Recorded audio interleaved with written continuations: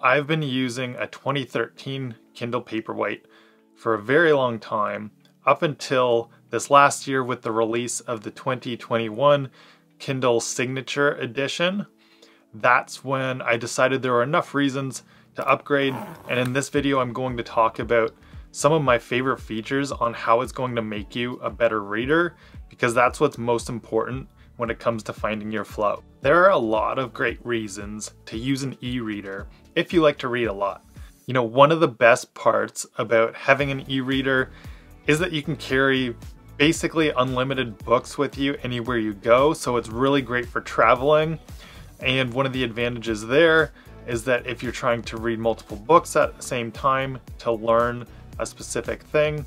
then you've got all those sources with you at any one time. I know when I pack up to go to work, I often have multiple books lined up and so it's very useful when I've got the Kindle that I don't have to actually carry a full tote bag of books with me anymore. And of course, a lot of people say that you could just use your phone or an iPad as another way to have a full library with you at any time. And this is very true, but with an e-reader in particular, I think it's important to realize that you're eliminating distractions. It's so easy for us to pick up our phone and get distracted by notifications, but with an e-reader that doesn't have any notifications or anything other than just being a pure device for reading, it's the closest thing to having those paper books while also being much more convenient when traveling or going to work. And for a lot of other purposes, whether it's reading outside or you want to take it to the beach and you don't want your paper books to get wet, you've got this perfect e-reader that's now waterproof as well that's going to make a big difference for you. And many people find that reading is a very enjoyable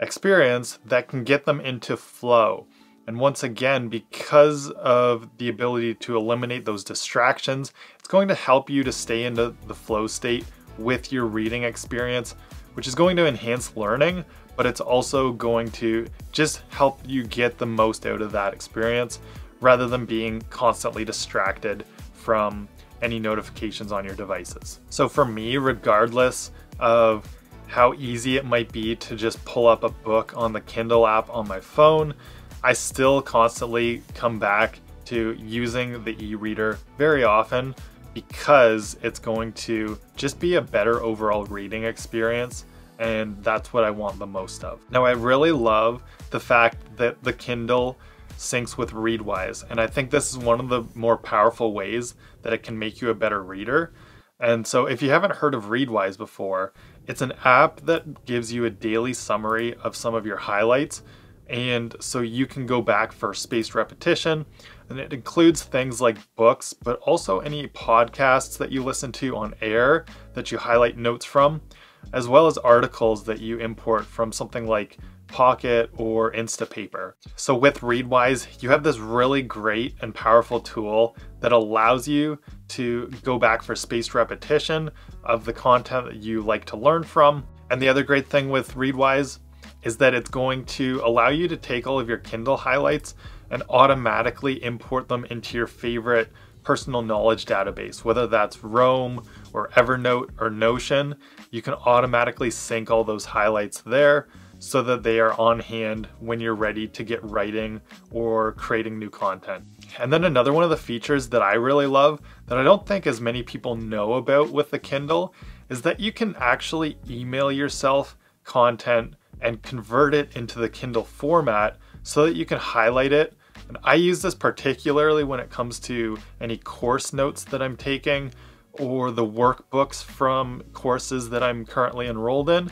because you can email it and convert it into an easy to read format that you can have whether it's alongside any of the course videos you're watching or any of the course material you're reading. And then once again, if you've got this linked up with Readwise, you're able to then sync any of those important notes from your courses into your highlight database as well. And if you've never owned a Kindle before, or it's been many years since your last upgrade, I think that you'll find that the bigger screen and the faster performance makes a difference. Now some people say that they don't notice that big of a difference with the screen size compared to the older Kindle Paperwhites, but for me, it stood out right away that it was just the perfect size for a page. And I also think this will be really valuable for anybody that's reading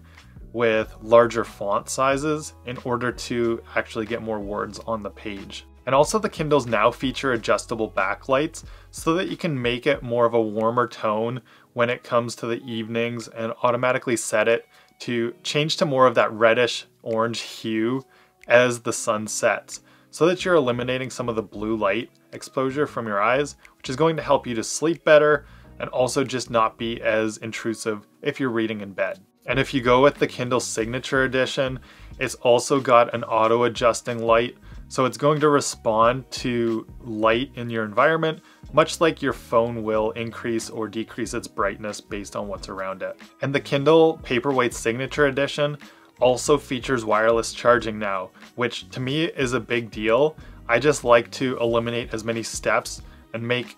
using my devices as convenient as possible. So I originally actually went with the base level Kindle Paperwhite and I returned it for one, because I wanted that wireless charging, and also just for the extra storage space. Although I think if you're just reading books and not downloading manga or listening to audiobooks on your Kindle, you're going to have hundreds and hundreds of books before you have to clear anything to the cloud. But the extra storage space is a nice